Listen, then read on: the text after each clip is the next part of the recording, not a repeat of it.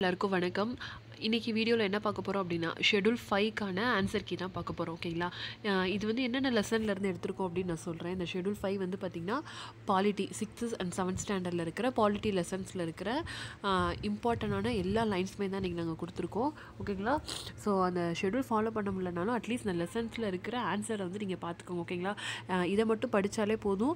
அந்த லெசன்ஸ்லாம் நீங்கள் படிக்க தேவையில்லை பிகாஸ் அதுலேருந்து தான் எல்லா பாயிண்ட்ஸுமே நாங்கள் எடுத்திருக்கோம் ஓகேங்களா ஒன்றும் விடாமல் ஓகே ஓகே ஸோ ஃபஸ்ட்டு ஒன்று பாருங்கள் ஆதி மனிதன் ஓகேவா ஸோ அவரோட முதல்ல செஞ்ச தொழில் என்ன அப்படின்னா வேட்டையாடுறது ஓகேங்களா அடுத்து வந்து மக்களால் மக்களுக்காக மக்களை நடத்தும் ஆட்சி மக்களாட்சி அப்படின்னு கூறினவர் யார் அப்படின்னா ஆப்ரிகாம் லிங்கன் ஓகேங்களா நெக்ஸ்ட்டு மக்களாட்சி அப்படின்னா என்ன அப்படின்னா ஒரு நாட்டின் குடிமக்கள் தேர்தல் வழியில் தங்களது பிரதிநிதிகளை தேர்ந்தெடுக்கவும் அதன் மூலம் அரசு அதிகாரத்தில் நேரடியாக பங்கேற்பது ஓகேங்களா அதுதான் வந்து மக்களாட்சி அப்படின்னு சொல்கிறாங்க இந்த லெசன் வந்து பார்த்திங்கன்னா ஃபுல்லாமே நான் எக்ஸ்பிளைன் பண்ணி ஒரு வீடியோ போட்டிருக்கேன்.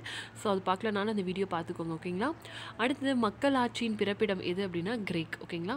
அடுத்து மக்களாட்சியின் வகைகள் என்னென்னா ரெண்டு வகை இருக்குது நேரடி மக்களாட்சி அப்புறம் பிரதிநிதித்துவ மக்களாட்சி ஓகேங்களா?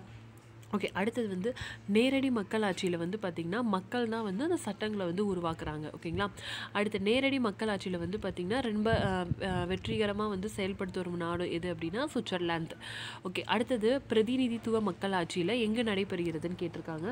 ஸோ எங்கெங்கே நடைபெறுகிறது அப்படின்னா இந்தியா இங்கிலாந்து அமெரிக்கா ஐக்கிய நாடுகளில் வந்து பிரதிநிதித்துவ மக்களாட்சி நடக்குது. ஓகேங்களா அடுத்தது நாடா நாடாளுமன்ற மக்களாட்சி எங்கே நடக்குது அப்படின்னா இந்தியா மற்றும் இங்கிலாந்தில் நாடாளுமன்ற மக்களாட்சி நடைபெற்று கொண்டு இருக்கின்றது ஓகே அடுத்தது பாருங்கள் ஜனநாயக ரீதியாக முடிவெடுப்பது அப்படின்னா என்ன அப்படின்னா மக்களாட்சி அமைப்புகளில் முடிவு எடுக்கும் அதிகாரம் பார்த்திங்கன்னா ஒரு குழுவிடம் இருக்கும் ஓகேங்களா ஸோ அந்த குழு வந்து பார்த்திங்கன்னா என்ன அப்படின்னா அவங்க அந்த குழுவே வந்து ஒரு மக்களோட கருத்தை வச்சு தான் ஒரு ந- ந- குழுவாக பிரிஞ்சிருப்பாங்க. ஸோ அந்த அந்த நாலு குழு இருக்காங்க. ஃபார் எக்ஸாம்பிள் ஒரு மக்கள் இருக்காங்கன்னு வச்சுக்கோங்களேன் அவங்களுக்கு வந்து நிறைய கருத்துக்கள் இருக்கும். அதை வந்து பார்த்திங்கன்னா ஒரு நாலு குழுவாக வந்து ஒவ்வொருத்தவங்களுக்கும் ஒப்பி ஒரு ஒப்பீனியன் இருக்கும். ஸோ அந்த குழு வந்து ஃபைனலாக என்ன சொல்கிறாங்க அப்படியோ அதுக்கு மற்ற குழுலாம் வந்து பார்த்திங்கன்னா கட்டுப்படுத்துவாங்க. அதுதான் வந்து ஜனநாயக ரீதியாக முடிவெடுப்பது. அடுத்து பாருங்கள் ரெண்டாயிரத்தி ஏழாம் ரெண்டாயிரத்தி ஏழாம் ஆண்டு ஐநா சபை செப்டம்பர் பதினஞ்சாம் நாள் பதினஞ்சாம் தேதி தான் வந்து பார்த்திங்கன்னா உலக மக்கள் ஆட்சி தினமாக வந்து அறிவிச்சிருக்காங்க. ஸோ எப்போ அப்படின்னா செப்டம்பர் பதினஞ்சு ரெண்டாயிரத்தி ஏழில் ஓகேங்களா? ஓகே நெக்ஸ்ட் பாருங்கள் மக்களால் மக்களுக்காக மக்கள் நடத்தும் ஆட்சி அமைப்பு தான் என்னது? மக்கள் ஆட்சி அப்படின்னு சொல்கிறாங்க ஓகே அடுத்து மக்கள் ஆட்சியில் வந்து பார்த்திங்கன்னா அதிகாரம் யார்கிட்ட இருக்கும்? மக்கள்கிட்ட இருக்கும். ஓகேங்களா? ஸோ நம்ம மக்களாட்சியில் வந்து பார்த்திங்கன்னா பதினெட்டு வயசு நிரம்பினதுக்கப்புறம் தான் குடிமக்கள் வந்து அவங்களுக்கான பிரதிநிதிகளுக்கு வந்து தேர்ந்தெடுக்கிறதுக்கு உரிமை கொடுக்குறாங்க. ஓகேங்களா?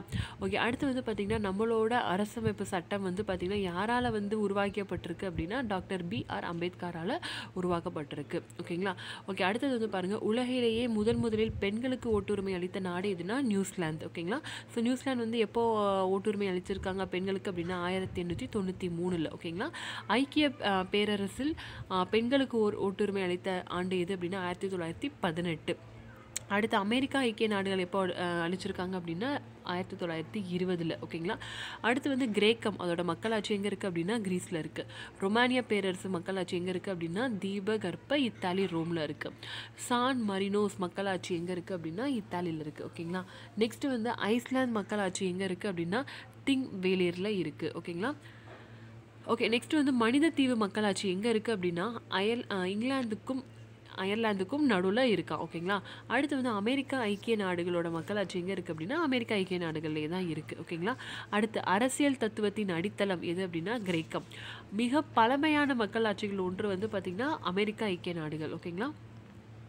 நெக்ஸ்ட் ஒன் மன்னராட்சியின் கீழ் சுய ஆட்சி எங்கே அப்படின்னா மனித தீவில் நடக்குது. நெக்ஸ்ட் இளஞ்சிவப்பு நிறத்தில் உள்ள தாமரை தான் என்ன சொல்கிறோம் நம்ம? செந்தாமரை அப்படின்னு சொல்கிறோம் ஓகே அடுத்தது பாருங்கள் மயிலுக்கு போர்வை கொடுத்த மன்னன் யார் அப்படின்னா பேகன்.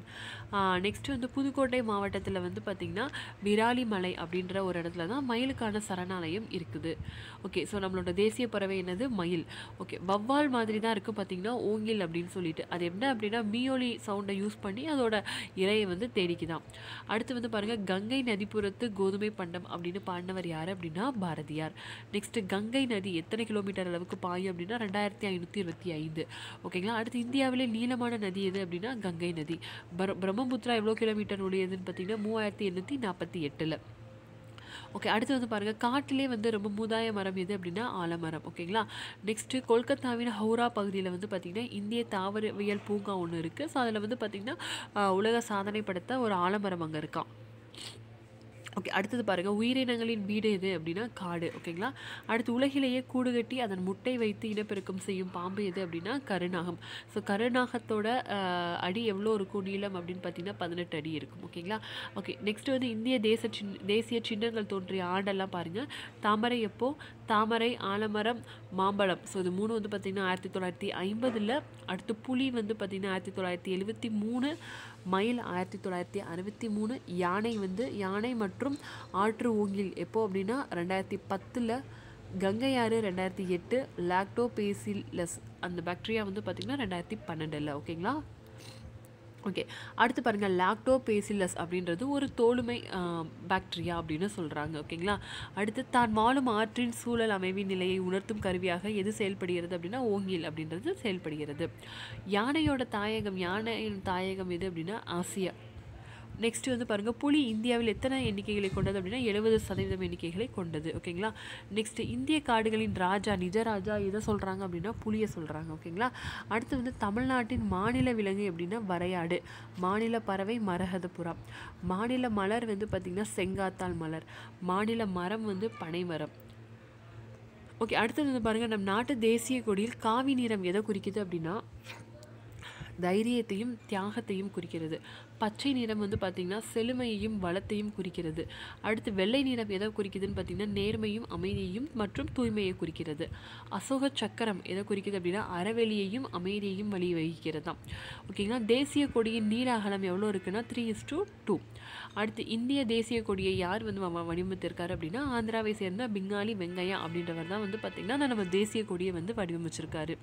ஓகே விடுதலை இந்தியாவின் முதல் தேசிய கொடி வந்து பார்த்திங்கன்னா குடியாத்தத்தில் தமிழ்நாடு தமிழ்நாட்டில் குடியாத்தம் அப்படின்ற ஒரு பிளேஸில் தான் வந்து பார்த்திங்கன்னா நெய்யப்பட்டிருக்கான். ஓகேங்களா ஸோ விடுதலை விடுதலை அடைஞ்சதுக்கப்புறம் ஜவஹர்லால் நேரு தான் வந்து பார்த்திங்கன்னா பதினஞ்சு எட்டு ஆயிரத்தி தொள்ளாயிரத்தி நாற்பத்தி ஏழில் செங்கோட்டை அப்படின்ற ஒரு பிளேஸில் வந்து அந்த கொடியை வந்து ஏற்றிருக்காரு ஓகேங்களா நெக்ஸ்ட் அசோக சக்கரம் எத்தனை நாலு ஆரங்கள் இருக்கும் அப்படின்னா இருபத்தி நாலு கோடுகள் அதில் இருக்குது ஓகேங்களா நெக்ஸ்ட் திருப்பூர் குமரன் வந்து பார்த்திங்கன்னா ஈரோடு மாவட்டம் சென்னிமலை அப்படின்ற ஒரு ஊரில் வந்து பிறந்திருக்காரு. ஓகே அடுத்து வந்து பாருங்கள் கொடிக்காத்த குமரன் அப்படின்னு யாரை கூப்பிட்றோம் அப்படின்னா திருப்பூர் குமரன் வந்து கூப்பிடுறாங்க ஓகேங்களா நெக்ஸ்ட் சாரநாத் அசோக தூணின் உச்சியில் அமைந்திருக்கும் நான்முக சிங்கம் ஓகேங்களா ஸோ அது வந்து என்னது அப்படின்னா இந்தியாவின் தேசிய லட்சணையாக எப்போ அறிவிக்கப்பட்டது அப்படின்னா ஜனவரி இருபத்தி ஆறு ஆயிரத்தி தொள்ளாயிரத்தி ஐம்பது அந்த நேஷனல் எம்பலம் ஓகேங்களா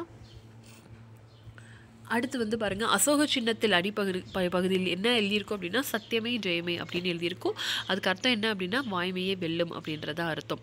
ஓகே அசோக சின்னத்தில் வந்து பார்த்திங்கன்னா கீழே என்னென்ன இருக்குது அப்படின்னா யானை குதிரை காளை சிங்கம். ஸோ இந்த நாலு மிருகங்களும் வந்து பார்த்திங்கன்னா விலங்குகள் இருக்கிறது அதில். அடுத்து வந்து பாருங்கள் அசோகர் காலத்தில் சாரநாத் தூணில் உச்சியில் அமைந்திருந்த நான்முக சிங்கம் தற்போது எங்கே இருக்குது அப்படின்னா சாரநாத் இந்த அப்படின்ற ஒரு அருங்காட்சியகத்தில் வந்து பாதுகாப்பாக இருக்குன்னு சொல்கிறாங்க ஓகே நெக்ஸ்ட் வந்து பாருங்கள் நமது தேசிய கீதம் ஓகேங்களா யாரால் எழுதப்பட்டது அப்படின்னா ரவீந்திரநாத் தாகூர் அப்படின்றவர்னால எந்த மொழியில் எழுதப்பட்டதுன்னா வங்காள மொழியில் எழுதப்பட்டிருக்கு. நெக்ஸ்ட் பாருங்கள் தேசிய கீதத்தில் மொழியாக்கம் வந்து அதாவது ஜனவரி இருபத்தி நாலு ஆயிரத்தி தொள்ளாயிரத்தி ஐம்பதில் ஹிந்தியில் பண்ணியிருக்காங்க ஓகேங்களா ஸோ அப்போ தான் வந்து அந்த தேசிய கீதமாக வந்து ஏற்றுக்கொண்டிருக்காங்க. அடுத்து ஆயிரத்தி தொள்ளாயிரத்தி பதினொன்று டிசம்பர் இருபத்தி ஏழாம் நாள் வந்து பார்த்திங்கன்னா கொல்கத்தாவில் கொல்கத்தாவில் நடந்த இந்திய தேசிய காங்கிரஸ் மாநாட் மாநாட்டின் போது தான் நம்ம தேசிய கீதம் வந்து முதன் முதலாக பாடப்பட்டது. இது ரொம்ப முக்கியமானது. ஓகே தேசிய கீதம் எவ்வளோ நேரம் பாடணும் அப்படின்னா ஐம்பத்தி ரெண்டு வினாடிகள். ஓகேங்களா? நெக்ஸ்ட் வ வந்தே மாதரம் பாடல் எழுதியவர் யார் அப்படின்னா பம்கிம் சந்திரா சந்த் சட்டர்ஜி. நெக்ஸ்ட் இந்திய நாணயம் வந்து பார்த்திங்கன்னா ரெண்டாயிரத்தி பத்தில் தமிழ்நாட்டை சேர்ந்த உதயகுமார் அப்படின்றவங்கனால தான் அந்த சிம்பிள் வந்து பார்த்திங்கன்னா வடிவமைக்கப்பட்டிருக்கு. இந்தியா எனது தாய்நாடு அப்படின்னு சொன்ன உறுதிமொழியை யார் எழுதியிருக்கார் அப்படின்னா பிதி பிரதி பிதிமாரி வெங்கட சுப்ராவ் அப்படின்றவரால் எழுதப்பட்டது. ஓகே அடுத்து வந்து பாருங்கள் தயிர் வந்து பால்லேருந்து எடுக்க போ- எடுக்கிறோம் இல்லையா? ஸோ அது வந்து எதனால அப்படின்னா லாக்டோபேசிலஸ் அப்படின்ற ஒரு பாக்டீரியானால ஓகேங்களா ஸோ இது வந்து ரெண்டாயிரத்தி பன்னெண்டில் தான் வந்து பார்த்திங்கன்னா தேசிய நுண்ணுயிராக வந்து அங்கீகரிச்சிருக்காங்க. அடுத்து வந்து பாருங்கள் ஆயிரத்தி தொள்ளாயிரத்தி ஐம்பத்தி ஏழு மார்ச் இருபத்தி ரெண்டில் தான் வந்து பார்த்திங்கன்னா நம்மளோட தேசிய நாட்காட்டி வந்து ஏற்றுக்கொள்ளப்பட்டது. ஓகே அடுத்து வந்து பாருங்கள் நாடு விடுதலை பெற்றதுக்கப்புறம் ஸோ ஆடுவோமே பள்ளி பாடுவோமே அப்படின்ற பாரதியார் பாடலை யார் வந்து ரேடியோவில் பாடியிருக்காங்க அப்படின்னா அன்னைக்கு டி கே பட்டம்மாள் அப்படின்றவங்க பாடியிருக்காங்க. ஓகே அடுத்து இந்திய குடியரசு நாளின் மூன்றாவது நாள் வந்து பார்த்திங்கன்னா ஜனவரி இருபத்தி ஒம்பது. ஸோ அன்றைக்கி என்ன சொல்கிறாங்க அப்படின்னா பாசறைக்கு திரும்புதல் அப்படின்ற ஒரு விழா நடக்குது. ஓகேங்களா ஓகே நெக்ஸ்ட் வந்து பாருங்கள் காந்தியின் பிறந்த நாளை வந்து பார்த்திங்கன்னா சர்வதேச அஹிம்சை நாளாக வந்து ரெண்டாயிரத்தி ஏழில் தான் ஐநா சபை வந்து அங்கீகரிச்சிருக்காங்க. ஓகேங்களா நெக்ஸ்ட் சமத்துவம் அப்படின்னா என்ன அப்படின்னா சமத்துவம் என்பது ஒரு தனி மனிதன் அல்லது ஒரு குழு வேறுபாடு காட்டி நடத்தாமல் இருக்கிறது தான் வந்து சமத்துவம் அப்படின்னு சொல்கிறாங்க ஓகேங்களா அதே மாதிரி சமத்துவம் அப்படின்றது வந்து பார்த்திங்கன்னா சம சமமாக நடத்துவது கிடையாது. அவங்களுக்கான வெகுமதி அதாவது சேலரியை சேலரி அளிக்கிறதுலேயும் வந்து தான் பார்த்திங்கன்னா சமத்துவம் இருக்கும் அப்படின்னு சொல்கிறார் அப்படி சொன்னவர் யார் அப்படின்னா லாஸ் கி அப்படின்றவர். ஓகேங்களா? நெக்ஸ்ட்டு ஒன்று பாருங்கள் இங்கிலாந்தில் சட்டத்தின் ஆட்சி என்ற கோட்பாடு உள்ளது. அங்கு சட்டத்தின் பார்வையில் அனைவரும் சமம் என்பதோடு அது அனைவருக்கும் சமமாக நடக்கிறது. எங்கே அப்படின்னா இங்கிலாந்தில். நெக்ஸ்ட்டு வந்து சட்டத்தின் ஆட்சி அப்படின்ற பதத்தை வந்து யார் எழுதியிருக்காரு அப்படின்னா ஏவி டைசி அப்படின்றவங்க தான் அதை வந்து எழுதியிருக்காரு.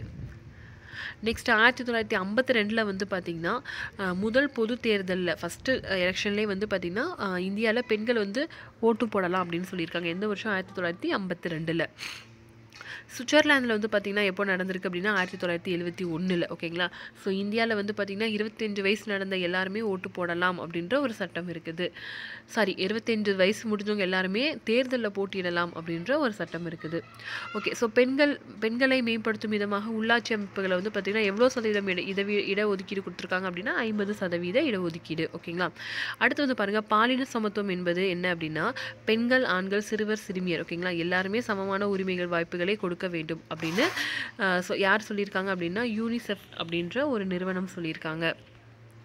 ஓகே அடுத்தது வந்து இந்திய அரசியலமைப்பு பார்த்திங்கன்னா அதனோட குடிமக்களுக்கு வந்து பதினாலுலேருந்து பதினெட்டு அதாவது அந்த ஆர்டிக்கல் பதினாலுலேருந்து பதினெட்டு வரைக்கும் வந்து பார்த்திங்கன்னா சமத்துவத்தை பற்றி சொல்லியிருக்காங்க.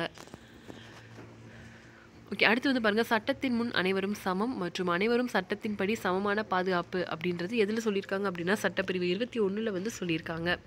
ஓகே நெக்ஸ்ட் வந்து பாருங்கள் சட்டப்பிரிவு பதினாலில் என்ன சொல்கிறாங்க அப்படின்னா சட்டத்தின் முன் அனைவரும் சமம் அப்படின்றது சொல்கிறாங்க சட்டப்பிரிவு பதினஞ்சில் வந்து பார்த்திங்கன்னா பாகுபாடை தடை செய்கிறது. சட்டப்பிரிவு பதினாறு வந்து பார்த்திங்கன்னா பொது வேலை வாய்ப்பில் எல்லாருக்குமே சமமாக வந்து வாய்ப்பு கொடுக்கணும் அப்படின்னு சொல்கிறாங்க சட்டப்பிரிவு பதினேழில் வந்து பார்த்திங்கன்னா தீண்டாமையை ஒழிக்கிறத பற்றி சொல்கிறாங்க சட்டப்பிரிவு பதினெட்டில் வந்து பார்த்திங்கன்னா பட்டங்கள் அளித்து வேறுபடுத்துதலை தடை செய்கிறது. இதெல்லாம் வந்து பார்த்திங்கன்னா ஆர்டிகல்ஸ் ரொம்ப முக்கியமான ஆர்டிக்கல் இதெல்லாமே. ஓகே அடுத்து வந்து பாருங்கள் சுதந்திரம் மற்றும் சமத்துவம் என்பது என்ன அப்படின்னா மக்களாட்சியோட இரண்டு அடிப்படை கோட்பாட்டுகள் அப்படின்னு சொல்கிறாங்க ஓகேங்களா ஸோ இதில் உங்கள் ஆன்சர் செக் பண்ணிக்கோங்க. நீங்கள் எவ்வளோ மார்க் அப்படின்றத பார்த்துக்கோங்க. ஓகேங்களா தேங்க்யூ